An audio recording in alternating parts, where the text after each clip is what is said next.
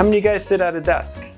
How many of you sit at a desk and as the day progresses, you start to develop tightness in your upper back and your neck?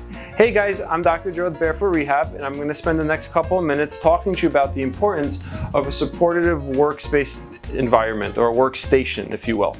So I get asked a lot after a treatment, Joe, are there any stretches I should do? And I always show them something that would be very helpful at their desk. It's called the sit, slide, lean rule.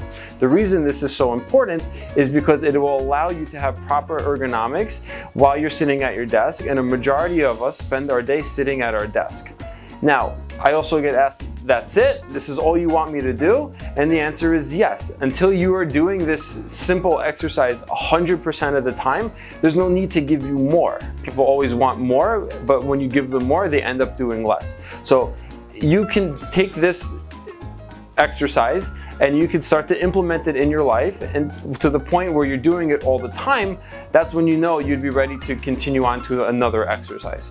So if this is your regular workspace uh, chair, what you're gonna do is you're gonna sit at the edge of the chair. We're gonna slide our butt all the way to the back of the chair and we lean back with both our feet flat on the ground.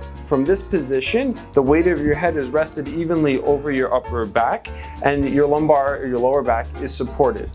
From here, we go about our, our, regular workday. Our eyes should be looking at the top third of our monitor and our wrists, if we're typing, should be nice and relaxed. There should be no flexion or extension of our wrists in either direction.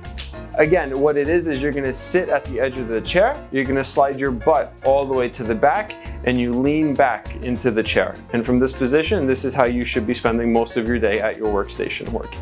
So if you go to your physical therapist or your chiropractor and they give you a bunch of exercises to do, let's be real. Let's pick one thing that we're gonna start to incorporate into our day to try to get you to feel better. Pick the sit, slide, lean rule because it'll help you not only temporarily, but long term.